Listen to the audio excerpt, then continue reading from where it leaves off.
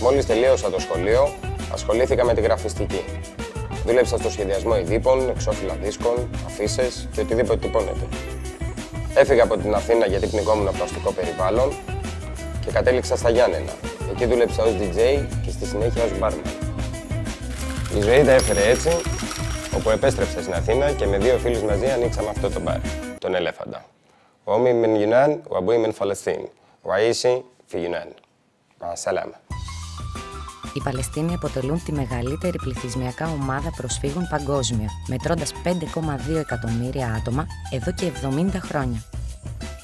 Ένας κόσμος μεταναστεύει. Γίνε μέρος της λύσης.